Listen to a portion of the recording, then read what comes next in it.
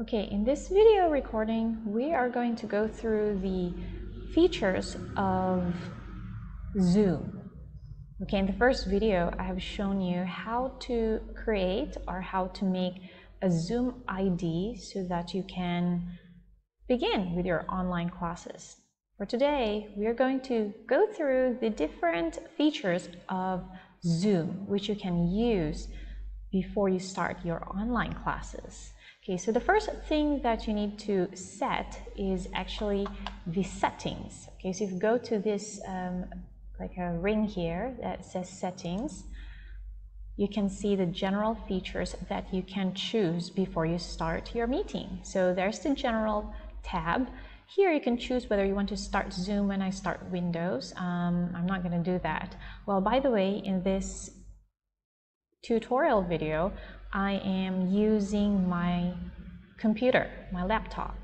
So after that, you can also choose when closed, minimize window uh, uh, to the notification area instead of the taskbar. So these are the features that you can choose in a general uh, setting. If you're using two monitors, um, wherein you can screen share, two screen sharing, if you allow that later on, then you can also tick that. Um, and then you can also enter full screen automatically when starting or joining a meeting. So there are two um, various view. So I'm actually using the full version of a full screen. That's why it's large enough. However, on a typical um, laptop, it's just a small um, squarish or rectangular um, uh, thing prompt that comes out of your screen.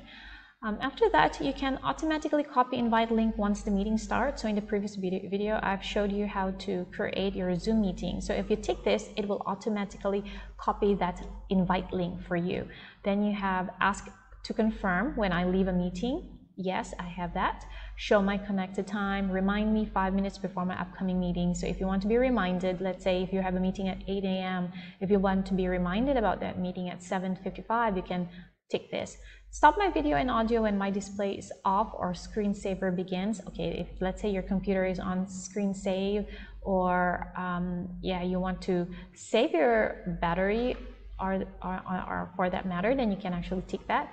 And this is your reaction um, skin tone. Like if you want to do thumbs up or clap, later on I'm going to show you how to use this reaction um, videos. Now, if you want to see more view um, settings, then you have to click this part, which will bring you to another um, link. But now, for this matter, for this link, right, you have to go to the website. But I'm not going to do that. That will be on another separate video. So that I'm just going to show you how to use the app first. Okay, next would be the video. So this is where you will see yourself. Okay, so that's actually me Then you can actually change whether it's an on original ratio or it will be widescreen. So this is a widescreen um, um, setting, but I'm going to use original um, ratio. Then you can also enable your HD, mirror my video, touch up my screen, okay, touch, sorry, touch up my appearance. So this is how it looks like if you don't. Then if you touch up my appearance, it would just like filter your, your, your, your your appearance. So that works for me. So I have to make sure that that's ticked. Then always display participant names on their video. Um, turn off my video when joining a meeting. Um, if you don't want um, your video to be switched on automatically, you can also tick that. And then you can just manually turn it on when you want to, um, to switch to um, video viewing. Then um, you can also choose hide non, non-video participants. So later on, once your meeting starts or your online classes um, starts, you can actually choose whether or not your whether or not you would want to show um, those um, students, let's say, who don't who who don't switch on their um, video. So this is, um, you just have to tick that. But for me, since I would like to see all of them inside, whether they have switch on or switch off their video, so I would, um, I wouldn't tick that um, option. Then also here, there will be like some troubleshooting things about video settings. And then you have the advanced setting. So when you go to advanced setting, that also brings you to this um, um, choices. So enable denoise, enable hardware acceleration for video processing, enable hardware acceleration for sending video, enable hardware acceleration for receiving video. So this is your video setting, and then you can just look into that. I put it on auto because that's the uh, the easiest um, option, or that's actually the option um, enabled for you once you sign up for a Zoom. Okay, now going to audio. So this is your audio um, um audio uh, feature. Um, if you would like to test the speaker of how loud or whether your um, computer is picking up the the other participants audio, then you can test your speaker here. So I put it on max and then also my microphone. So there you go. It's um, making an input. That's why it's moving. Then use separate audio device to play ringtone simultaneously. Okay, that's another thing that you would like to um, tick if you're using another audio um, device for your for your um, Zoom sessions. Then you can also automatically join audio by computer when joining a meeting, mute my microphone when joining a meeting, press and hold space key to temporarily unmute myself and sync buttons on headset. So you can actually do your space, uh, space button to make sure that you can unmute or mute myself. So um, I, I, do this, uh, um, I take these options for myself. Now, if you have, if you would like to go further on your audio settings, um, showing meeting option to enable original sound from microphone um, that's an option that you can also do. And these are suppress present background noise. Okay, um, if you would like to moderate it, aggressive, or disable it, then it won't it won't um, um, have that kind of um, option to help you suppress, most especially if there's a lot of background noises happening around when you're doing your um, um, online uh, Zoom sessions. Then you have suppress intermittent background noise. I put it on auto. Echo cancellation. So if you would like to set this up, you can also do so. Now, screen sharing is very useful, most especially if you're doing your um, online classes. This is very, very useful, and I also do it, um, use this feature myself when you are going to like do some presentations, most especially if you are using PowerPoint presentations, and this is very important. So when I do a screen share, I always enter full screen when participants share screen. So this is an option when wherein it's not you sharing the screen, but your student or another participant um, sharing the screen. In another video, I'm going to show you how you do it yourself and how you would allow other participants to share screen. So for this one, it says enter full screen when a participant shares screen. So um, I, some, because sometimes I would like to have an interactive um, lesson using sharing screen. So I do permit them sometimes, but there's a part or of, um, or there's like a setting on Zoom which um, disallows screen sharing for a participant. Let's say if you just want yourself to do the screen sharing, then you can also um, deactivate that. I'm going to show you that in, uh, in another video. Now, you also have maximize Zoom window when participants share screen. Then, of course, you have scale to fit shared content to Zoom window, enable to remote control of all applications, side-by-side -side mode. Okay, this one um, I'm going to show you that on another separate video on share, sc share screens. Um, it means that one side is for you to see the participants or let's say your face or the speaker and then the other side of your screen shows the PowerPoint presentation. So that's just like a side-by-side -side, uh, mode. Then you also have the silent system notification when sharing um, desktop.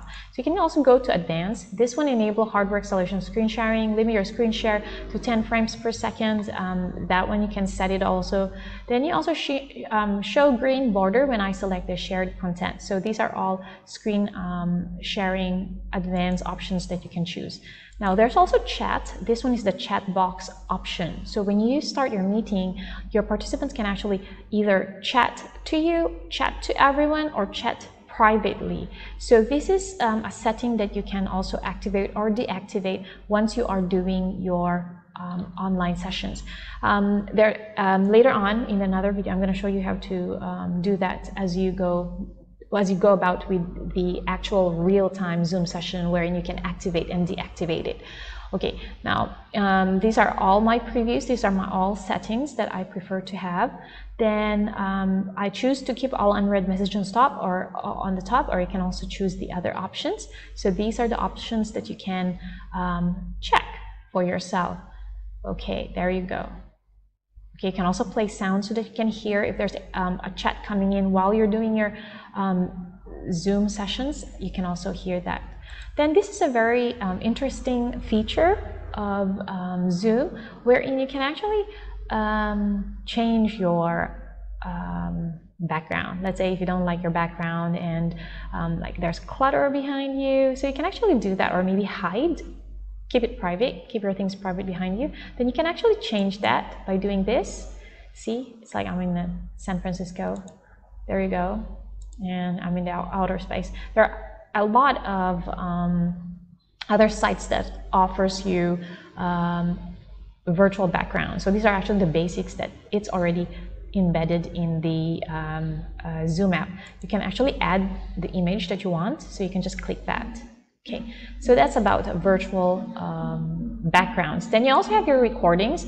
Now for your recordings, this is um, an option wherein you can record the the um, record the sessions that you're having. So you can either choose where you want to um, save the recording, and it also gives you these um, choices or options that you would like to to see. Okay, what are the timestamp? Um, this is a, this is my own setting. I usually I usually want to have a, a timestamp to the recording because when I do have that timestamp, then I can see um, the time uh, the time when that session had been um, conducted. Then uh, you can also have record video during screen sharing. Place video next to the shared screen in the recording. So this is how um, you can opt to choose what type of um, recording settings you have. Then of course that's your pro profile. Now I'm just using the basics. So the basics is actually a free, um, a free um, option then uh, which is which allows you to have a minimum of one-on-one -on -one to 100 participants in one um, Zoom meeting. Though there are some limitations, just like for example 40 minutes, so it gets cut off after 40 minutes. Um, what I what, what I would usually do, let's say if I have another session in my class, then I would just ask my students to re-log back into that particular ID number and also that password. So you can also do that. You don't have to pay. All right. Now statistics. Okay, there you go. Shortcuts. If you are very much good or you are more in tune to uh, doing shortcuts, you can also, do that. Your Alt um, and uh, other uh, Shift and Control uh, shortcuts, and there you go, your accessibility. So these are the default accessibility um, that is already set.